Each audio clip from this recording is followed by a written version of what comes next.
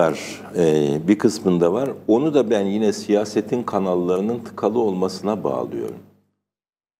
Hiçbirimiz sütten çıkmış ak kaşık değiliz. Hiçbirimizin e, hiçbirimiz bir takım e, zihinsel defolardan e, zihinsel defolardan azade değiliz. Ama toplum ve toplumdaki iyi ilişkiler hepimizi rehabilite eder. Yani orada bir takım eksikliklerimizi biz bırakırız ve iyi tarafımızda e, iyi şeyler yaparak toplum tarafından da yüceltiliriz.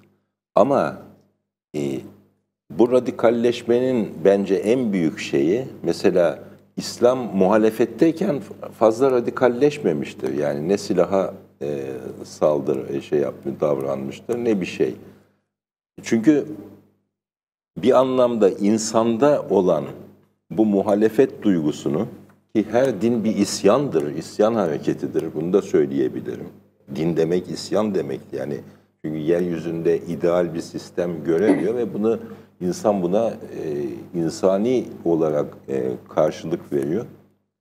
İslam içinde muhalefet yollarının geleneksel anlamda gelişmemesi bunda çok büyük etkendir.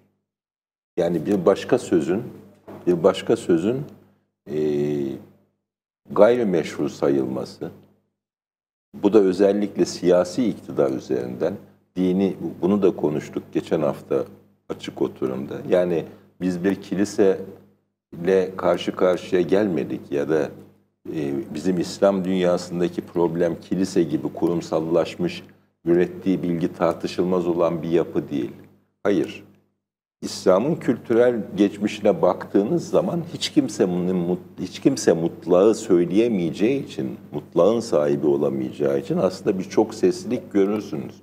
Nerede? Sivil ulemada, sivil kesimde.